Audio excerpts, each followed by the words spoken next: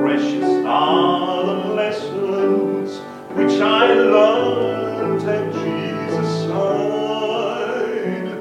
Earthly cares can never vex me, neither trials lay me low. For when Satan comes to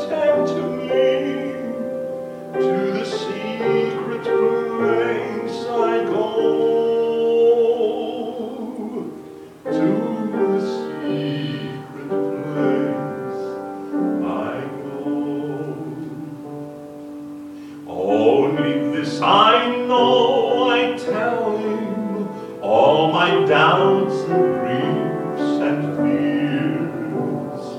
Oh, how patiently he listens, and my drooping soul he cheers.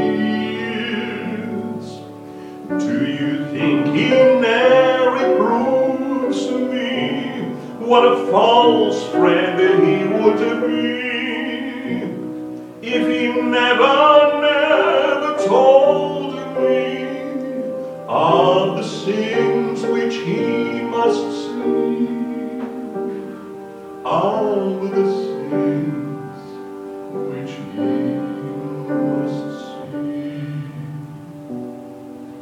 Would you like to know the sweetness of the secret of the Lord?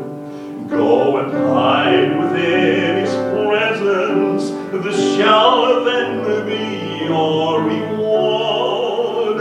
And when there you leave the silence of that happy meeting place, you must mind and bear the image of the Master in your face.